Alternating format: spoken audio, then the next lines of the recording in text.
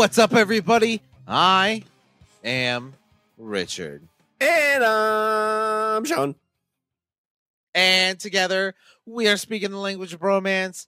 Oh, my little petite muffin biscuit. How I've missed you. I've missed your face and Oh, all of the things about you. Richard, I want to take us back to a simpler time in life. I want to go back to 14, 15 year old Shawn sitting in the back of the bus, listening to his anti-skip CD player with his awesome headphones, over the ear headphones. It still skipped anyway. oh, yeah, oh, yeah. You had like five second skip. You hit that because you sat at the back of the bus and then you hit a bump and then you're like, fuck. There it goes. Well, and you didn't realize like it was just like a little memory thing. So you'd sit there and like tap it, not realizing that you're fucking your CD up even worse. Like, Yeah, look, I can hit it yeah. for 10 seconds. I was gonna say you like whenever it skipped, it was always like, oh god, did I is the is it broken? Is it is it gonna always scratch at the, is it always gonna skip at that point now? Yeah. Oh, and this is the time of CD books. Those uh CD uh what do you call what Oh, don't get me started. Oh, I had two huge ones. Yeah, I I had two 100 book CDs full. I've got a like a 25 and maybe a 51, like a small two back to back and then one that's got four. yeah. Oh, that was like a school books. Who needs school books? Toss. Yeah, all those things like you carried around all over. The other thing that I loved is I always had to pick out a great sticker for it to throw on the back. Uh-huh. Uh-huh. Yeah. My favorite was it said 68 and I owe you one. Ah, nice. Yeah. What was the other one? The other one was uh sex instructor first lesson free. Classic times. Classic times is the 2000s. I would probably Um, say, you know, the greatest generation, obviously. Um, I mean, we didn't fight a war, but um, it was close. I mean, they didn't they didn't make us go fight a war, but there were some people over there fighting. What was the other things that were great about this time frame? It's CDs, your stickers, Thong Song obviously was a big hit. good old Sisqo. Yes. But Richard, I found this article. It was originally published in the August 1999 issue of Spin magazine. Oh, okay, okay. I remember Spin magazine. I Yeah. also vaguely remember 1999. I was 17 years old. I was just about I was in 8th grade, coming up close to graduating 8th grade, getting into the high school time frame of my life. I was 13, had the whole world in front of me. Yeah, this would have been the start. Yeah, this would have been the start of my senior year of high school. Did you graduate your senior year in 2000? Yeah. Okay, that'll be easier to remember. So we graduated you graduated high school the same year I graduated 8th grade. Yeah. So the title Yeah, of this I article, graduated in Richard- 2000, and you said this was August 99. So this, yeah, this would have been the start of my senior year of high school. So I guess do you want me to bury the lead and not give you the title so we don't know who we're talking about? You'll find out pretty quick. Um. I'm, I'm sure I'll find out pretty quick. You you can you can conceal it, but I I I mean, if you're if you're talking music, the music scene in in circa 1999, I think I think I can I think I can get it. because the first line tells you who is it about. So let me give you the the title list. Let's see if you can figure it out. It says "How to Succeed in Business by Really, Really Trying." Okay. All right. 1999, Hmm. just on the the break of some rock, kind of taking the stand back after pop. Who would Oh, really, really I was be so glad about that. yeah, that oh, I was so happy. Yeah, Oh, because good 2000, you had at least on my music, you had Linkin Park, you had Papa Roach, Taproot was coming out pretty quick. Uh, who's some other bands? Korn was Staind still was. Korn was still going strong. Korn. Korn was at album number three by that point. So this is like right before they, for me, for me personally, this is right before they kind of like fell off a little bit.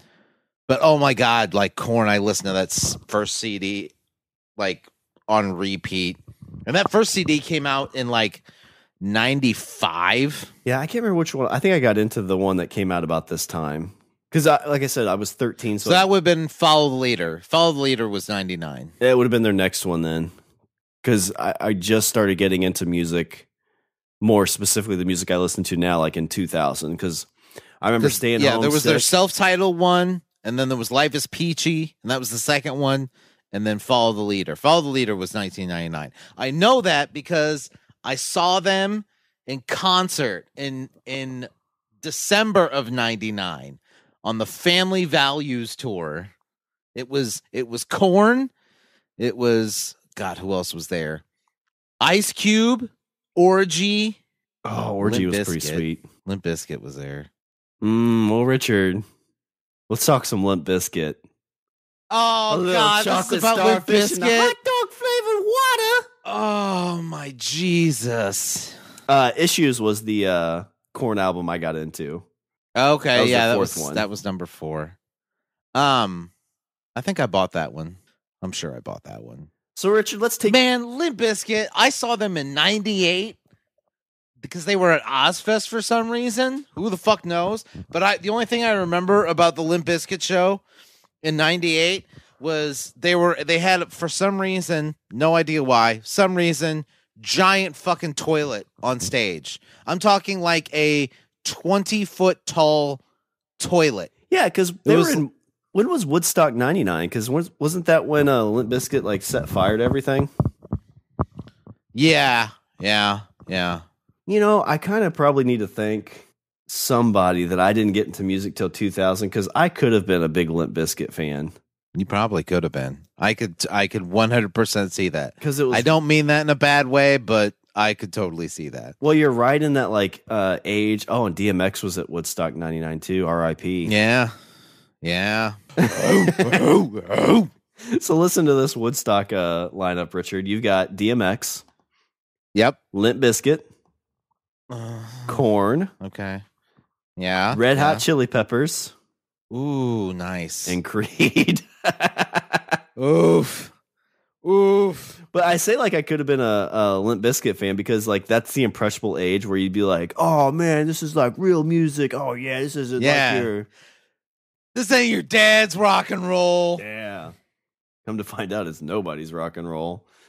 That was yeah, Mm. July. So did man like I I have a did uh I I okay, full confession, I did own a Limp Bizkit album. I owned I own Chocolate Starfish. I I I you know what? I don't think I own chocolate starfish, but I will I will probably guess that my wife owned chocolate starfish and so it got merged into my into my CD collection. Try to see So one. it's there. sig- yeah, I because did have $3 bill y'all. $3 bill y'all actually wasn't a half bad album. yeah, I remember hearing like their first single off that. It's like you're about as weird Yeah, as a three dollar counterfeit. bill. No, it was Counterfeit. Counterfeit was their first. No, the first single off that one was that that cover they did of uh Faith. That was like that was like their big that was like their big thing. Yeah, Like when they first when they first kind of came out. They were like, "Look, we redid George Michael and it's all hard cuz we're hard." But that uh that song Counterfeit, that's not that's not a bad not a half bad song. is that the one that's got the line "You're about as weird as a three dollar bill"? Maybe. I remember seeing that like Remaster years down the road. Because I didn't even hear Faith when that came out. I like I heard those songs like after Nookie. Because Nookie is where they like exploded. Yeah, unfortunately. Nookie's honestly where I was like, no, we're done here. Yeah, I mean, well, then they had that and break stuff. It was like just like back to back, like, oh yeah, we're into this. But Break Yeah. stuff was okay. break stuff. It was a good rage song. Good They- rage song. They had a um a new album that came out that was a little bit more rock influenced. That there's a couple songs that were okay, but yeah. after uh so I read this article ahead of time just to kind of prepare and you know you think about this so faith is already out this is about the time they were working on significant other and Yeah.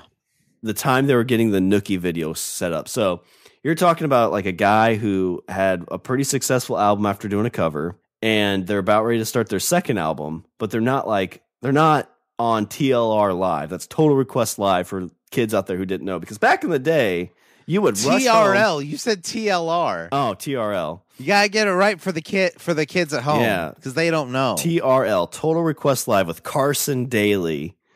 Yeah. Painted fingernails. That's like a guy who I feel like he found like a job. He's like he's like maybe this will lead to something cool, and then he does that for like 15 years. He's like I just wish I could kill myself.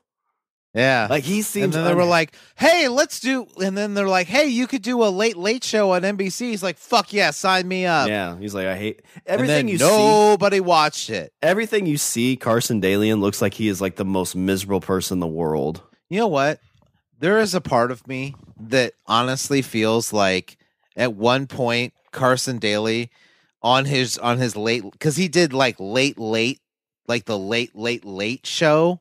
I think his like on NBC it was like after Seth Meyers. What Seth Meyers is now, or did he? No, I'm no, I'm saying it was after that. Was- I think last call. That was the name of it. Last call because it was it was it was the Tonight Show, and then it was Late Night with Seth Meyers, and then it was this fucking Last Call with Carson Daly. And I would put money on it that at one point, like Carson Daly probably just like ripped off every single stitch of clothing he had, and just like jerked his dick for 20 minutes because he knew not a single soul was watching. Richard, do you I could get away with anything. Do you realize that he did Last Call with Carson Daly from 2002 to 2019? Oh my god! Almost 20 years. Damn.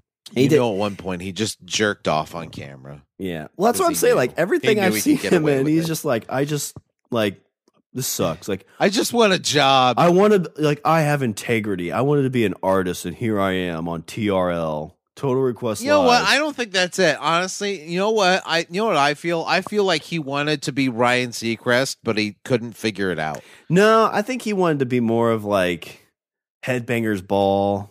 Like he wanted to be that kind of guy because, like, you think so? oh yeah, because like whenever you saw him he with seems way too poppy for like Headbangers Ball. I think he had to become that because back when uh like this 2000, you know, like 99 to 2001, 2002, like you had like whatever Korn and stuff like that was on, he seemed like legitimately like, "Oh yeah, this is awesome, like rock and roll, like I love this stuff." But then it became yeah, more but he okay. But here's the thing: is that Carson Daly, like on MTV, Carson Daly had to contest with Matt Pinfield, and Matt Pinfield on MTV Oh, yeah. was a fucking encyclopedia of anything that had to do with rock music. That man could spit facts on the at the drop of a hat. He could tell you he could tell you shit about a band that the band doesn't even know. And there's I'm I'm sorry, but like you're like you're no m- fucking Matt Pinfield. I don't care. Matt Pinfield had looked like a fucking like a toe. What- His whole head looked like a toe. Yeah. Well, I think I mean, I think uh cuz that's more of like a historian. But I feel like Carson would But be he more of like the so interviewer smart. journalist type person, but for rock music. Yeah, Cuz I mean, like think not about not against Pinfield. Like, what if you got that job, Richard, in like 2000, 2001? Like, Ozzy, I think, was having some stuff come out. Um, like you said, Korn. Uh, yeah, he had a he. Well, he was kind of doing. He'd put out like a collection of songs, and then he'd throw like a couple. He'd throw a couple bonus tracks on there. yeah, but like you see TRL, the list of it, like you'd have, you know, some rock bands at the top of that. And you still had Britney and NSYNC and stuff like that kind of pushing their Yeah. way in. But you're like, oh, this is great. Like, it's it's a decent mix. And all of a sudden, it's like, well, now there's one rock song on there. Now there's two Eminem songs on there. Now there's no rock bands on there. Yep. Now Yep. you've got Now it's all Backstreet. Yeah. And so at Then that point, Backstreet came you know, back. you're getting that TRL money and that TRL fame. You're like, well, what am I going to do? Like, rock music's gone. And rock kind of had that hard fall. Like, I think Napster really helped rock quite a bit. But then when they started hammering down on that, like, it just, Well, I think that I think that uh with the advent of the internet, I think that mu- not just rock, but I I don't I wouldn't say that rock necessarily like fell, but I will say that I think that music in general started to become much much more niche to where like people gravitated towards their camps and then staked their claim mm, and nobody crossed and nobody crossed boundaries. yeah. I mean, you're kind of like, I don't know what it's at today because I'm kind of like old man at this point. Because, like, I don't even know if people listen to the radio anymore. Like, I know people do, but do they really? Like, you got Spotify telling you what's popular, not, you know, top 40 radio. Yeah, but okay, like Spotify tells you what's popular, but do you listen to and do you listen to what's popular on Spotify? No, you listen to the playlist that you've spent the past four years curating. Yeah, but I mean, I'm 35 at this point, so it's like, hey, here's this. It's tough. What really sucks is when you find that band and you like like it, like you're like, oh man, I really dig this, and you look back and they have like 12 albums. You're like, oh, like that's a lot of work to get to like know what the songs are to listen to them. Like, whew, I got a lot to do. I listen to like weird niche stuff now. Like fucking just like weird off the wall shit that like you could never even possibly conceive of. Shawn, you know what I listen to now? You know what I'm really what I've been really listening to? Actually, I listened to earlier today. No, no, Shawn. I found a band that they take um songs from old Nintendo games and they put it they take songs like old 8-bit songs from old school Nintendo games and they put it to mariachi music. You sent me it's something with the- that. Yeah, I think. It's called the Mariachi Entertainment System and it is chef's kiss. It is chef's kiss good. It's the Mariachi Entertainment System or MES. So is that where you know you're old? Where you're like, hey kids, come listen to this new band. They're like, Dad, Guys, we're it's mariachi music, but it's uh, but they take songs from fucking Mega Man from 1985. Dad, we're busy listening to WAP. What's that stand for? Oh God, kids, go to your room. Ben Shapiro told me about that. I know what that means. Yeah, that's a he says it's bad, but I don't get it. I think it's fear of the unknown, but that's neither here nor there. I am so yeah, that's what I listen to now. I listen to fucking like weird shit because I like it. like I said, I've been feeling like super nostalgic, so I've been going back to like uh albums that I listened to in my first car with my subs. Like is the, is this what is this what spurned the the limp Bizkit? No, uh, what spurned the Limp Bizkit? Because so Limp Bizkit kind of falls in that like Eminem. Like there was a lot of kids in my school that were kind of like rap fans, and like my favorite band's Papa Roach, and they are definitely kind of what you would call nu metal or rap metal. But there, I wouldn't compare them to Limp Bizkit at all. Like No, it. I always it always felt to me it felt like they kind of like kind of like rode. They kind of like hopped on Korn's coattails and kind of like use use that to like you know bring them up a couple notches. are you talking Limp Bizkit And or then- Papa Roach? Limp Bizkit. Oh, okay, Like yeah. Limp like because they had um because I think Korn Limp Bizkit was on Korn's third album, and then it seemed like that second album had a bunch of people on there. Korn was on there. Fucking wasn't Method Man Redman on? Oh, Limp Bizkit's third album, the Chocolate Starfish. Yeah. yeah, they had a Yeah, That was yeah. Ugh. Like so what I was trying to get to like so like when Eminem came out with My Name Is um like ev- Yeah. like there was like a kid who got it like opening night or release day or whatever and like everybody's looking Yeah. I was like hey dude can I see that? And he's like no. I was like oh. I was like well fuck you then I'll go buy it. Like this has Yeah. got to be good music right? And I buy it I listen to it. I'm like no this is not like mm not my thing you didn't like it? Mm-mm, no. And so like Limp Bizkit was kind of that same boat. They were coming out with a new album. I never had uh significant other, so I was like, well, I mean, everybody likes Limp Bizkit. I like break stuff. You know, Yeah. let's get this. And then like you listen to it and you're like, they're just ripping off a bunch of other songs. Like, welcome to the jungle, punk. Take a look around. It's Limp Bizkit fucking up your town. Oh, but I still remember it, so it's gotta be good. I think you still remember it because it's it's it does have a well weird kind of earworm qual. Like some of those songs do have like an earworm kind of thing to it. Yeah, it's uh I think it just has to do with repetition. Yeah. It's I mean, it's kind of like whenever your kid makes up a song, you're like, that's kind of funny. You kind of start humming to it. But Yeah, you're like, yeah, exactly. It just kind of digs in there. See, watch, watch. I can do it with you right now. This is completely unprompted. Ready? Ready? Here we go.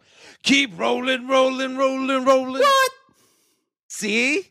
Now I know you all be loving this shit right here. Shit right here. Pierce Bizkit is right here. Bizkit is right here. Oh my put god. hands in the air. Because if you don't care, then we don't care. We don't care. I hate you. God, I hate myself. See? Yeah, yeah. Yeah. And I feel guess the dirty. other thing you is feel like you just dirty have- when you do it, but you can't help but do it. I guess the It's thing, the shave. It's like shaving a haircut. yeah. Well, whenever Tiff is like, "Let's get rolling," I'm like, "Rolling, rolling, rolling, rolling." But the thing with that too is, you know, they're really just saying their name in every song or spelling it out. yeah. Yeah. But Richard, I'll take you to a time before Chocolate Starfish. So this is, like I said, this is right after Three Dollar Bill Y'all. After they started getting some success with Faith, and they're about ready to record the video for Nookie. Now remember, Yeah, yeah. this is 1999. This is a long article, so I'll probably kind of go through some of the spots I thought were interesting. Okay. But, like again, this is 1999. No cell phones, no Twitter, no Facebook. Internet's more Nope. just like Nope. blogs and stuff. But yeah. you could be an- blogs and Napster. Napster was around then. yeah, I think it was. Yeah. But you could be. I mean, I heard that there was this thing called Napster around. oh then. man, like I don't know if you did this, but what I did is because I'm a goody two shoes. Like I would listen to like four or five songs from an album on Napster and be like, "Oh, I really Uh-huh. like that," and I'd go buy the album because Um, I use Napster. I use Napster to get a hold of music that I couldn't find. Like, yeah, same boat. um, like if uh, like Ozzy had this, uh, like Ozzy had a couple like B side singles that like you know weren't on any album, but it was like a B side on a single, and so I'm like, oh, I'll grab that. I'll grab that. Like stuff that I stuff that I'd actually have to like you know like comb record stores across the country to look for. oh, and you probably still wouldn't find it. Yeah, but I could find them on Napster. Those were the songs that I usually picked up. Yeah, like I had all of Papa Roach's like indie releases, but I didn't have a burner on that computer, so I those are Ah. lost to time. Oh, But 1999, Richard, August. Fred Durst likes it to the right with a swivel and a bounce. Yeah, like that with the knee out and do that thing with your hips. It's my best Oh my Fred God, Durst. I want to punch you in the face, and I, like I love you so much, but all I want to do after saying like while you're saying that is like your face just looks so punchable Yeah. in that moment. this is this is 99 2000, Richard. Like this wa- this is our Oh. this is our past.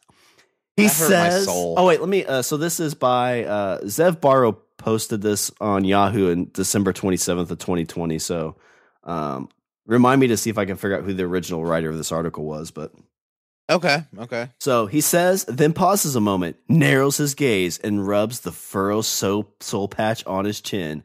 Five little female dancers in clingy black synthetic fibers stare back at him, hanging on his every word. Like this? One asks, doing that thing with her hips. Nah, to the right, he replies. The right is dope, the left is whack. The dancers complies and Durst Oh eyes my. widen. Yeah, that's the dope shit. Oh Jesus. Richard, in your life, how many times did you say dope shit? I I I don't think I've ever said it. I'm sure somebody will correct me. the guy's just like a walking roofie at this, you know, isn't he? Yes. Yes, he is. Like this is like every like when I was so like I started college in 04. It's like the personal embodiment of a date rape drug Yeah. come to life. Yeah. Like the epitome of your bro, like not bro, like your uh frat boy. Yes. Because how many red did like sold between like 99 and 2004? Like too many. Ugh. Uh, the Limp Bizkit frontman is choreographing his Bizkits. In a small dance rehearsal space near Times Square New York City, there's an old wooden piano in the corner, but the only music in the room comes courtesy of a small boombox playing Nookie, the first single from Significant Other, Limp Bizkit's second rap metal effort. Tomorrow, he will direct the Nookie video, which will include the dancers styled like Little Freds in khaki dickies, shell toed Adidas sneakers, and backwards baseball caps. Thousands, Richard, of rabid Limp Bizkit fans, and remarkably enough, an alive and kicking Pauly Shore. Pauly Shore is alive, Richard. Oh, he's not dead. Okay, take it from uh, the top. Durst says, and then starts bouncing and swiveling a bit himself, singing along to the tracks. Unbashed, stupid chorus. I did it all for the nookie. Come on, the nookie. So you could take that cookie and shove it up your yeah. You know, I'm you know, I could probably pull this video up on YouTube, but I don't want to because I know like I'd watch it and then just like it's like it's like every it's like eh, if you're if you're a kid, if you're a kid from the 90s, it's like your secret shame. Yeah, yeah. The opening's like good you're though. almo- like you're embarrassed. Like you're like people, you know, like I'm embarrassed to say that I listened to and liked Limp Bizkit. Not all of it, but uh, you know, yeah, enough that it's considered not enough that it's not okay. yeah. I mean, this like you have to think like how many people our age like were riding around in their cars, windows down, bursting with this album. yes, yes, it was this and Kid Rock. That was the other one. Ah, yeah. I did like I did like Kid Rock. I did. I own the first Kid Rock album. That was it. That's as far as I went. He had After the first after the first album, I was like, "We're done. We're done here." he had something. I'm trying to remember what it was on. He had like a greatest hits album. It was like his second one because he had been like putting stuff out since like 1992. Yeah. Did you know that uh, Kid Rock and Eminem in Detroit had a rap battle, and Kid Rock won? Oh, I'm sure Kid Rock like told everybody that. well, Eminem never denied or confirmed it. So Yeah, because he's Eminem. He's like, fuck you. I'm worth 80 gajillion dollars. I don't give a fuck what Kid Rock thinks or Yeah, says. I wonder, like, how is Kid Rock doing now? Like, is he still getting any ball to ball Oh. money? Oh, I know- I mean, I know he did a lot of like country stuff. he did. Like the last time I saw him, it was that picture of him where he looks like a he looks like a mid a dad in his mid fifties with the fucking with these pants that are that look like they're made out of an American flag. Yeah, well, these guys are pushing fifty now. It says he's worth 150 million, which you can't. You know really- why? Because there's no justice in the world, Shawn. Well, Eminem's worth 210, so You know, like I know I know you said you weren't big on the on on Eminem and like I listened to it and I wasn't really hu- I wasn't really big on it either.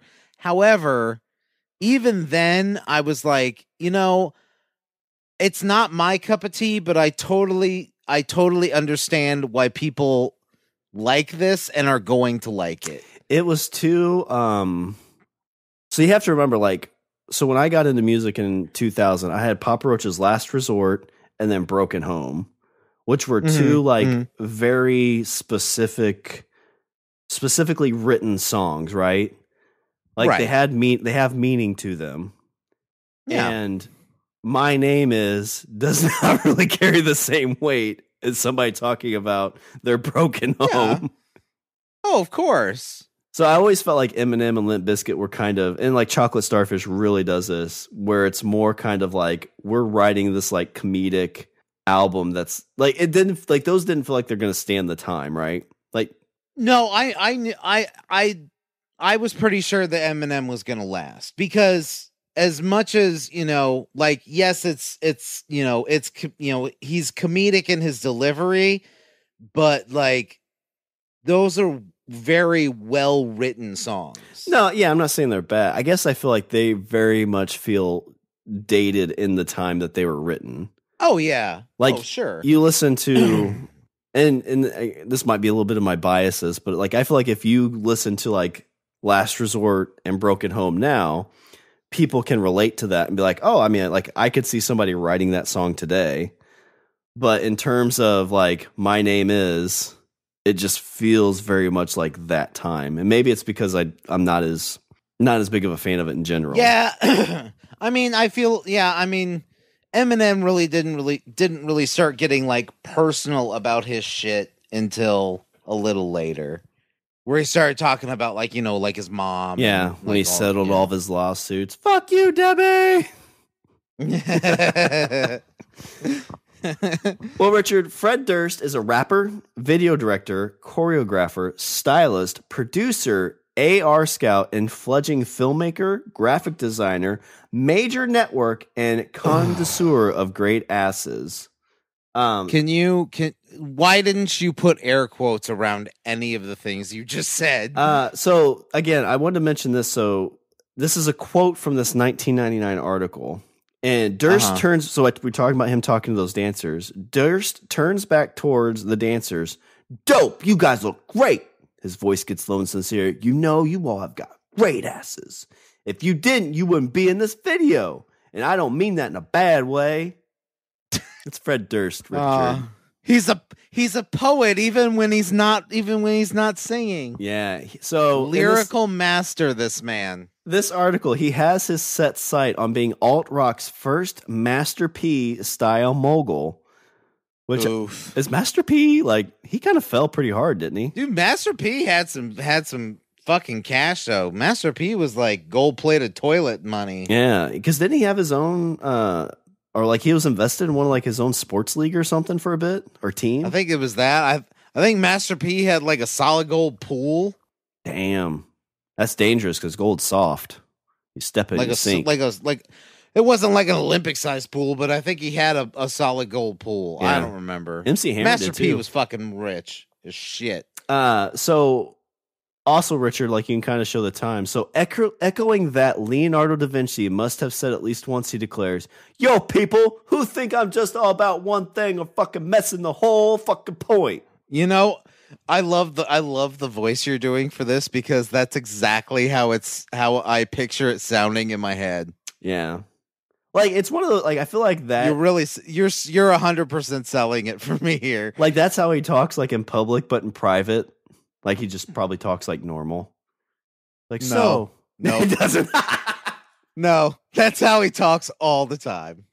Uh, Yo, he goes he goes to a movie theater. He's like, "Yo, let me get a box of raisinets." How much that cost? Three dollar bill, y'all.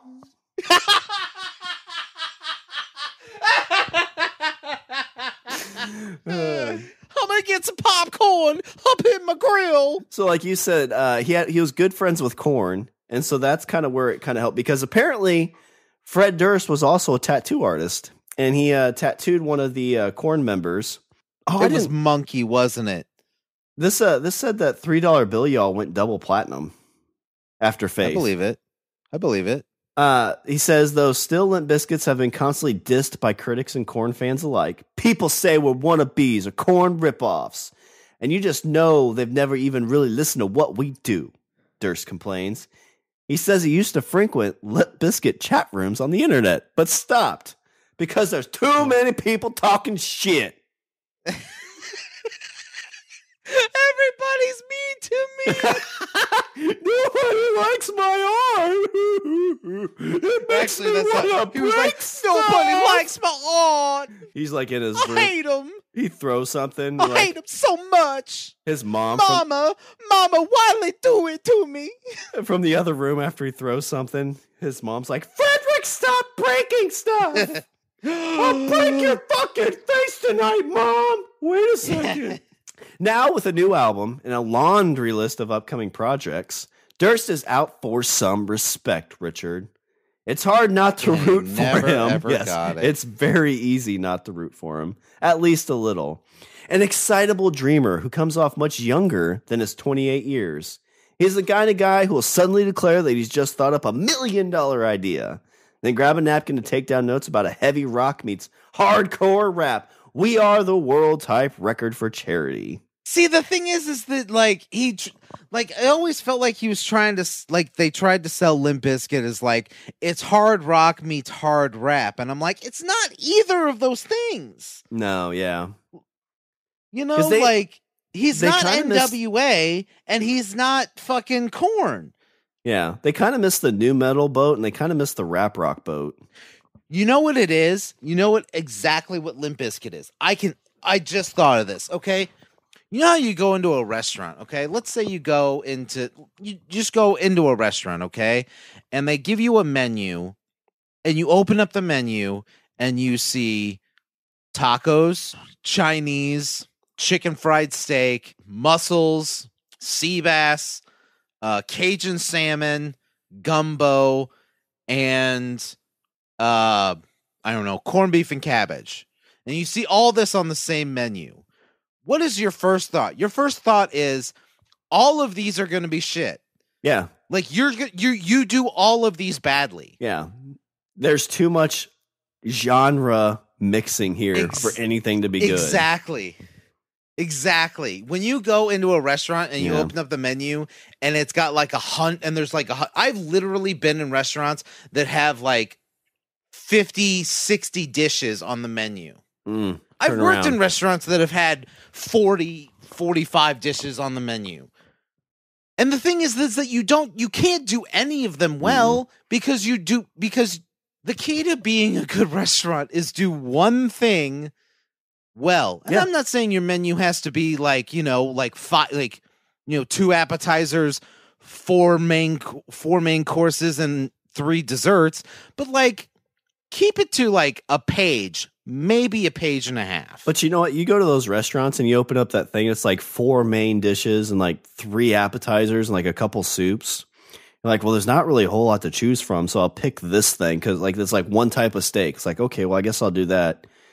Always delicious. Like Yeah, it may not yeah. be exactly what you want, but it's delicious, and you're happy with your It's decision. good. Yeah. Limp Bizkit is the is the fusion restaurant of music. You're like, hey, we do rock and rap. We don't do either of them well, but we do both okay. Yeah, and we've got some metal on the side if you like that kind of thing. Yeah. But the thing is, is that you know what? You don't do both okay. You do both shit.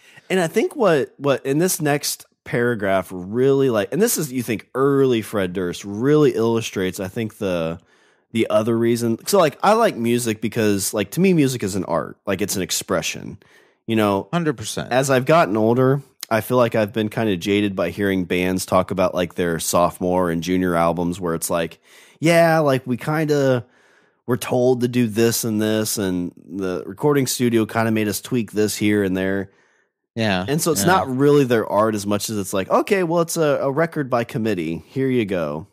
I always Yeah. feel like Limp Bizkit stuff was always that. Af- specifically, probably like significant other forward. So Durst is sitting in a large van idling outside the Sunset Strip Hotel where his bandmates have been staying while Limp Bizkits finish their new record. All right, yo, listen up, he says, breaking down the band's money situation like a b-boy accountant. We're going to take like three million for publishing. Now, just pretend that half of that is gone for taxes. I I bet some of that didn't make it to taxes, Richard. Some probably made it to his pocket. What? so that's 1.5 mil. Make Split- sure the reporter writes down they're going to taxes. That's 1.5 mil split five ways. That's like 300,000 each. Not too fucking bad, huh? Durst handles all things financial for Limp Bizkit and pretty much everything else as well. My band has Oh, life God. easy, he says. But they're not the kind of people who want too much on their plate. I make sure they get whatever they want and they don't want too much. Like, does this not sound like a mob boss? No, this sounds like this sounds like Bernie Madoff. This sounds like that shady accountant that you have that's like, "Don't worry, I'll take care of everything." Well, I feel like he's like because like so uh, the band has got 21 and 22 year old Otto and Rivers. Uh, they've got DJ Lethal who's 29, and then they've got DJ Lethal. You know what? As as shit as that band was, I did like DJ Lethal. I thought he was actually a really good guitarist. DJ Lethal was the DJ. Or the DJ, I Yeah. mean. Sorry. Uh, Borland, Wes Borland was the the guitarist. Borland. Um, Yes. and he was 25, so or tw- yeah, 24. And he was definitely like the outlier. Like he was the dude that wore like weird clothes, mask, all kinds Yeah. of weird stuff. Yeah. I I did like I did like Borland. Uh, so talking about Borland, so you know, Durst says Borland is cool, says Durst, but we have different tastes. I just don't deal with him at one point. Before the band was signed, Durst kicked him out for a while, but soon realized that there wasn't anyone as good as him who I liked so much. So now he's the guy who makes us listen to Weezer on the tour bus. So this is my favorite part of this article, Rich, because you have to remember this was so Borland's been kicked out of the band once and brought back, and we Yeah. know later on he left the band. So Right. the uh person Not too long after this, I think, right? I think it was right after Chocolate Starfish. Like I think Yeah, they finished yeah. Chocolate Starfish and he's like I'm I'm done. Like this is stupid. Yeah. Um, I am not rolling, rolling, rolling with you. So they asked, Where will you be in 10 years from now? Rivers says, In a big old mansion in the Caribbean. Otto says, In two mansions, one in the Caribbean, one in Hawaii. Lethal says, Making beats. Borland says, Probably not in the band. And Durst says that between 10 and 20 million units sold. It's like right away, these are just like guys who are like, nope, this is stupid. This is dumb. what are we doing here? Why are you people listening to this? uh who was it? Dave Grohl. Dave Grohl always said that like you know, he always the one thing that he hated the most about like American Idol was that it was like you were saying, it was like music by committee. He's like, that's not he's like, that's not how you make music. He's like the way you just you get some you get some bullshit instruments that you buy at a yard sale you get your friends together and you go into the you go into a garage and then you sound like shit for like two years And then in year And three, you still sound like shit, but you're a little bit yeah better. you just yeah you just go into your garage like hang out with your friends and just sound like complete ass for ever for a long time and then eventually you might emerge as like a you know as a fairly cohesive unit Yeah. I feel I mean, I think that's like I I had a guitar when I was 16, but it was one of those things that like right away when I couldn't play Stairway to Heaven, I'm like this is stupid. But if you had a group of people it's like, "Well, I can't play it either. I can't play it. Well, let's try to play it together." And you jam for like an hour or two every other day. my son plays guitar probably like an hour or two a day Yeah, like he just sits in he just sits in his room and and just and just plays guitar and i so so wish that that would have been me i so wish that i would have done that Well, because like he sits upstairs and he's like i hear him like playing like santana like he can do the intro to black magic woman Mm. he's been playing for like two years Well, and today too, like it's really like I think when when we were younger, like you really kind of needed like a support group essentially. And if you Yeah, didn't have that, it was real difficult. But like today, you know, it's like, hey, like your son wants to learn how to play a song. Okay, well, let me go on YouTube and see if somebody teaches me how to play this song. Like you've yeah, got a he, lot of he that say stuff. he does that a lot. He like looks at he looks at videos on YouTube, not of people necessarily playing, but just like videos of the guitar tabs and Oh, stuff. yeah. He'll just look stuff. He can just look stuff up on his phone and just play everything that way. yeah, because tabs was a really easy way to kind of get it going. Yeah. Uh, so this talking about uh, Limp Bizkit, they were not an overnight success. This is uh, Tom Whalley, the president of Interscope. So they toured forever. Limp Bizkit did time with the Warped and Family Values and played a slew of small clubs. What was most exciting about those early shows was that you could tell that there was this new audience out there, kids and Adidas's who were into both rock and rap. Korn's audience. Yeah, they were all co- yeah, they're called Korn fans. We felt that Limp. Re- oh God, he calls them Limp. Uh, we felt that Limp. I mean, wouldn't L Bizkit be better? I don't think any of it's better. Yeah. I don't think any of it's good. Is it just like this? Just this whole story just make you go like, Ugh. Yeah. It's like there's a time where Limp Bizkit was. I mean, it was a short. It was like a, a year and a half, two year run, but they were probably the You know- biggest band. You know, um, I occasionally get down, like I like I get a little depressed.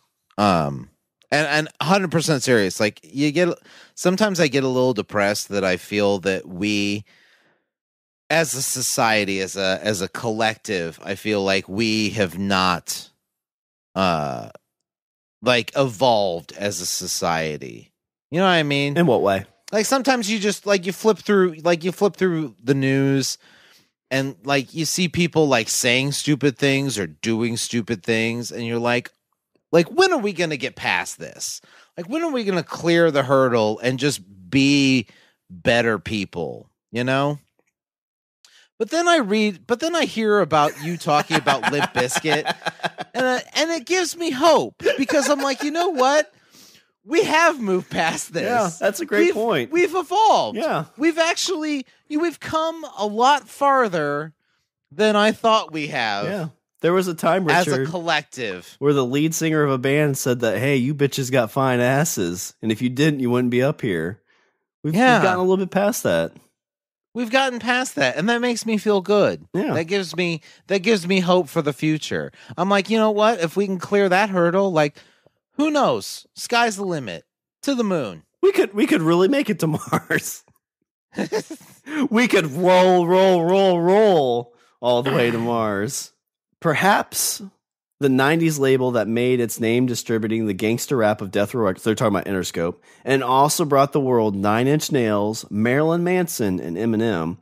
Interscope Yeah. has had unparalleled success in taping or tapping the right youth movement at the right time, making its Yeah, massive- ask Nine Inch Nails what they think. What he think? Ask ask Trent Reznor what he thinks about Interscope now. I'm sure he has a fairly different story. You know what sucks about a lot of those artists is they essentially like so basically you have a band like Nine Inch Nails, Papa Roach is a great example too.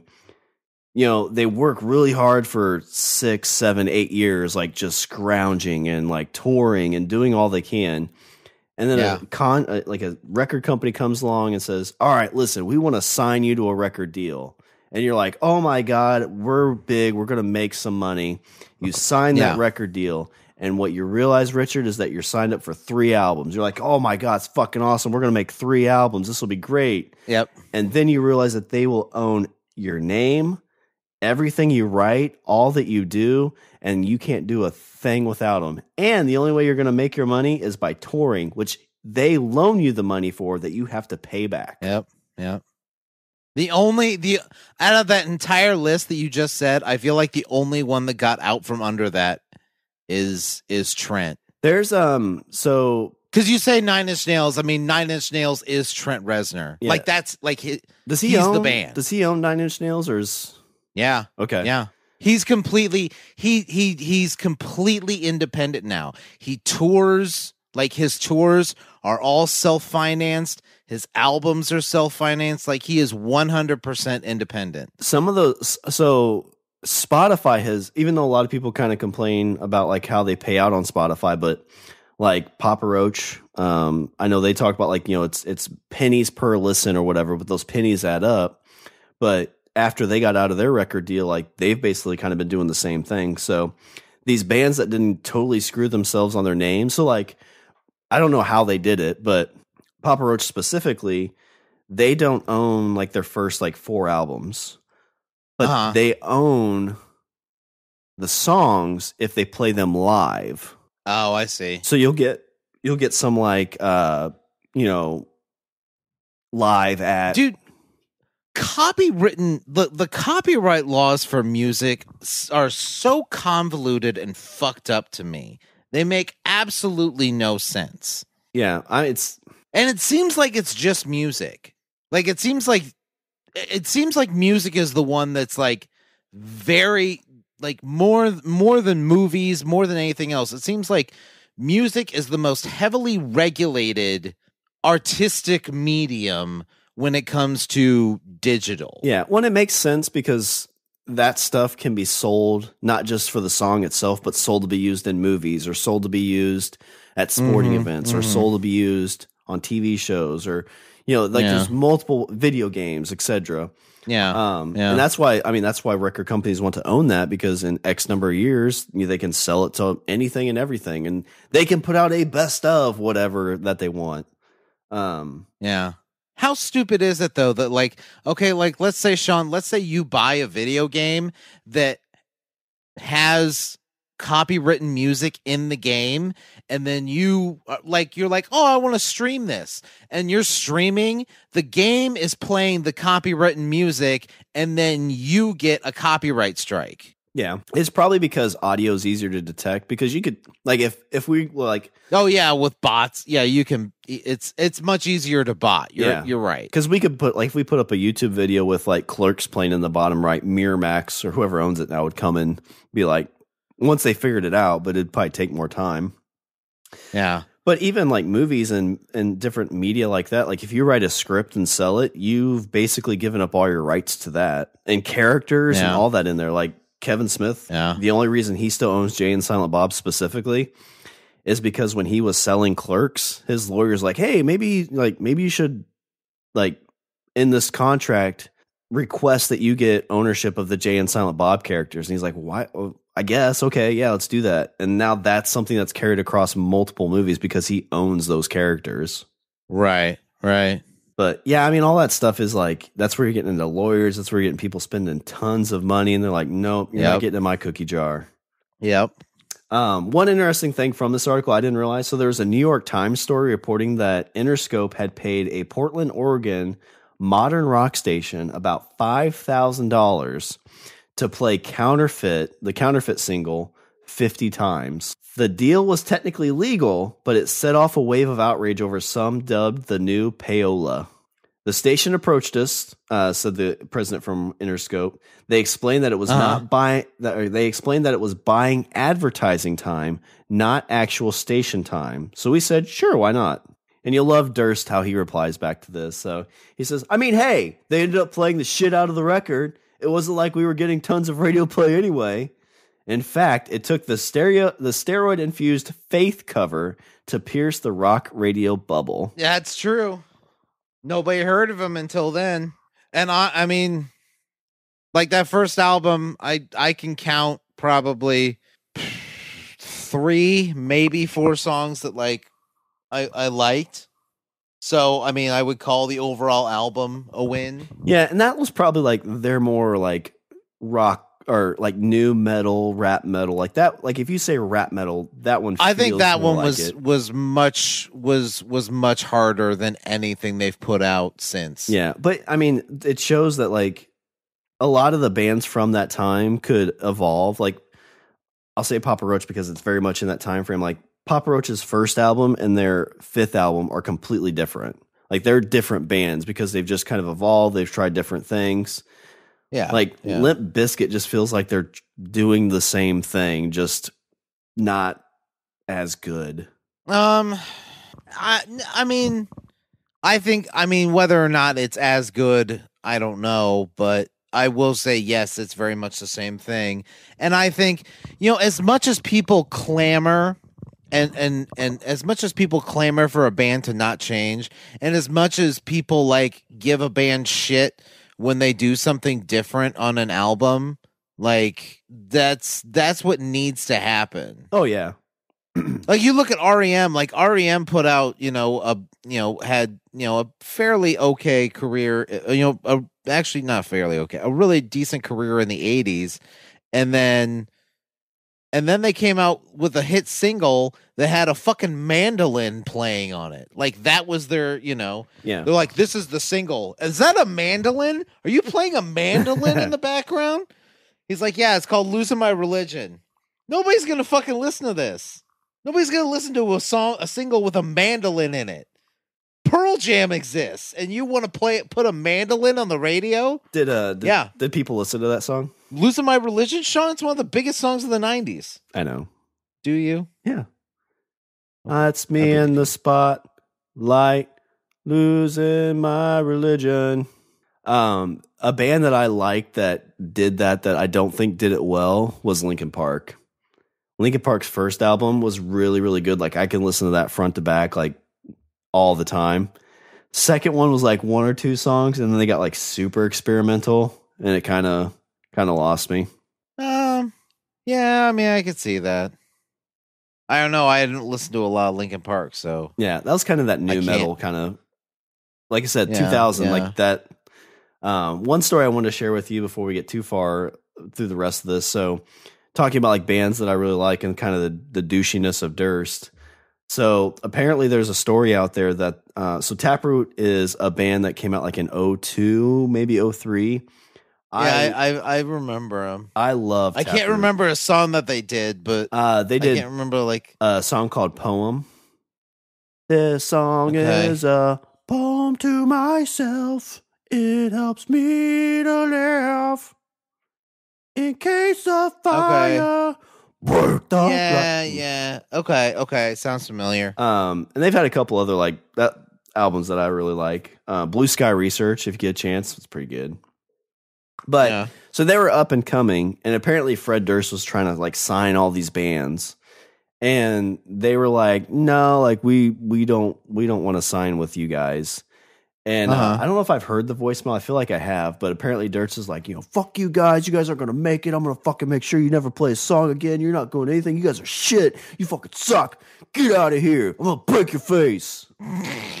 Break your fucking face tonight. That's in my song. You can't use it. yeah, this is that's copyright song in your voicemail, so you can't play it on the internet. Yeah. And then you're and then you're sitting there listening to the message and you're like, man, I feel creepy. I feel like I want to take a shower after listening to him talk. Yes. Let's see. Uh, You know, you know, uh, I've, I've, you know, I've just realized we've, we've spent almost an hour talking, and I feel like all we've done this entire time is found any way, shape, or form to avoid talking about Limp Bizkit. well, I mean, this whole thing is a lot about just like this time frame. So I'll leave this last one, which again kind of gives me a lot of creepy vibes because remember he's 28 years old, and this is in Oh, an God. article published in 99. Like this isn't like this is a legit article. Oh, here we go. So Durst is talking, and it says he's talking about significant other is so much better. I really believe we made an original great record. At the very least, it's more melodic, melodic, melodic, Uh huh.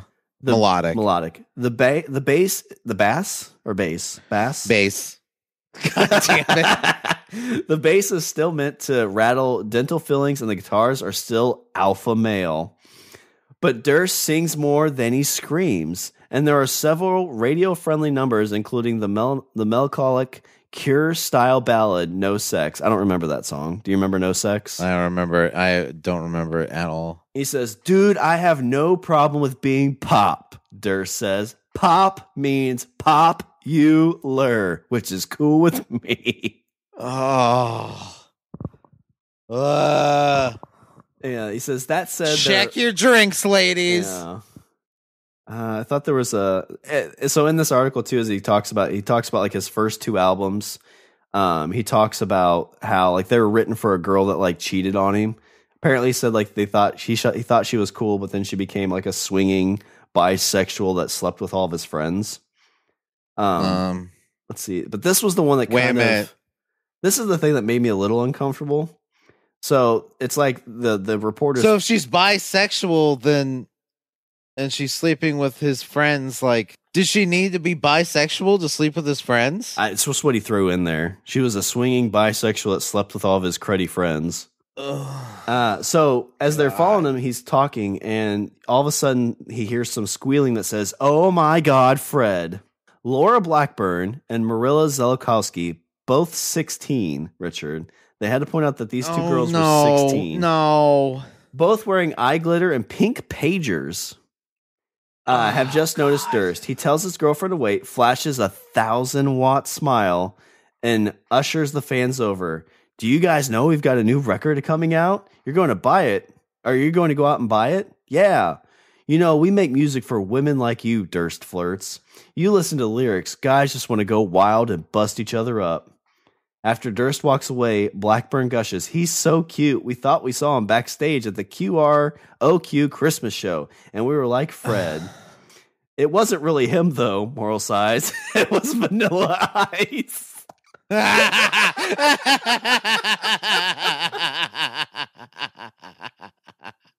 yeah, it's just like a good. It's a good portent for the future. That's what that is. Oh, but Richard, uh, I don't know if it was a great journey, but I saw that article, and uh, when I first clicked it, I thought it was kind of like a retrospective of like that Uh-huh. time frame.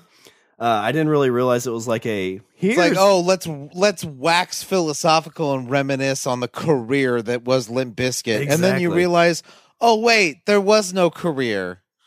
so yeah. there it is. It's like, oh, let's look back to see how they were so popular instead of it's like, oh my God, do you know this most popular band ever, Limp Bizkit?